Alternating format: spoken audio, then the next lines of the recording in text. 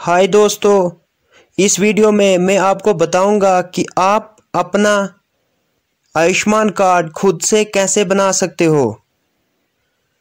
National health authority ने एक नया पोर्टल लॉन्च किया है जहाँ से आप अपना आयुष्मान कार्ड खुद से बना सकते हो।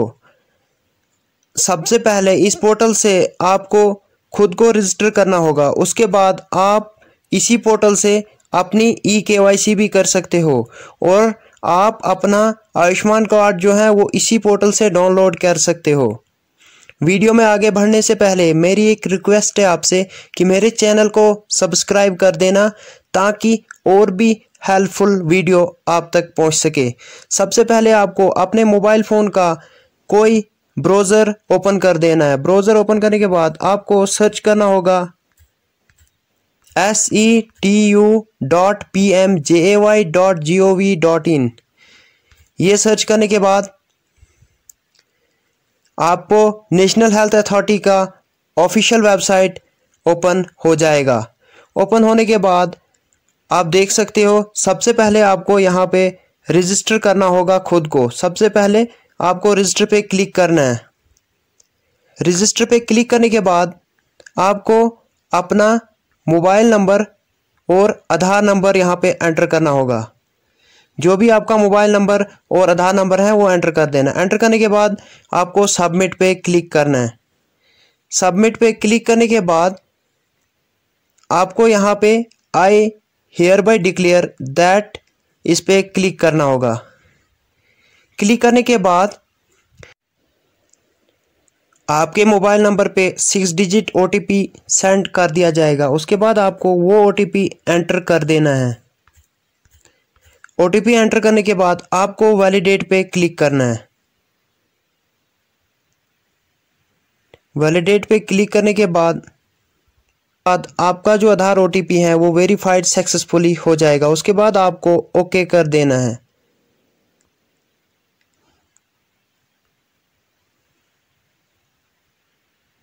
ओके करने के बाद आपके सामने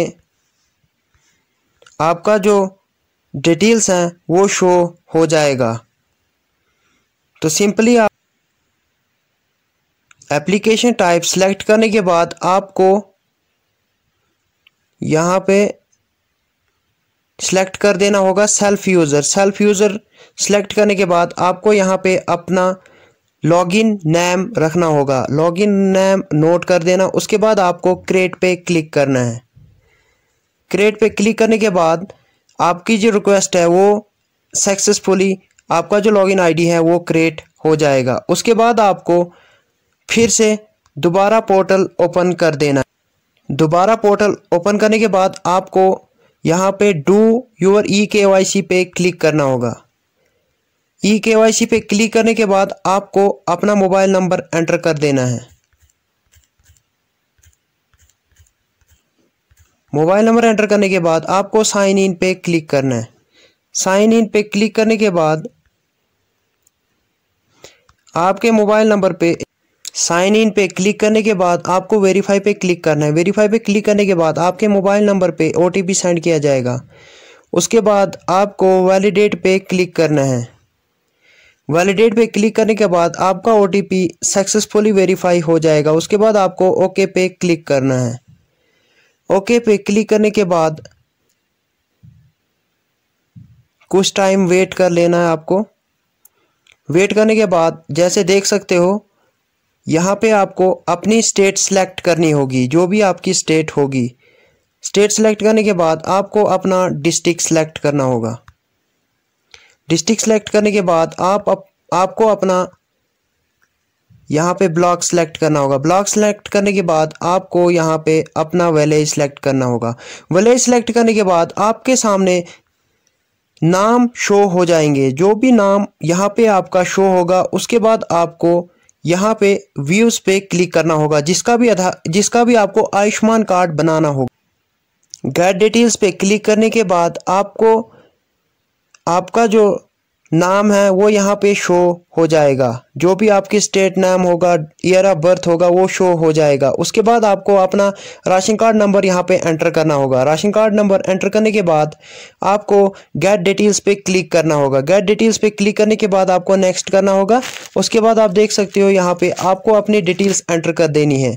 डिटेल्स एंटर करने के बाद आपको थर्ड ऑप्शन जो है वो ई के वाई सी डिटेल्स फिर ई के वाई सी डिटेल्स वेरीफाई करनी होगी। आपके जो मोबाइल नंबर है, उस पर एक ओ टी पी सेंड किया जाएगा। ई के वाई ई के वाई सी डिटेल्स वेरीफाई करने के बाद आपको रिव्यू पे क्लिक करना है। रिव्यू पे क्लिक करने के बाद आपको लास्ट ऑप्शन फिनिश का मिलेगा। फिनिश कर देना आपका जो आयुष्मान कार्ड है, वो सक्सेसफुली अप्लाई हो जाएगा। उसके बाद आपको एक रेफरेंस आईडी दी जाएगी। वो रेफरेंस आईडी आप नोट कर देना ताकि आप अपना आयुष्मान कार्ड बाद में डाउनलोड कर सके।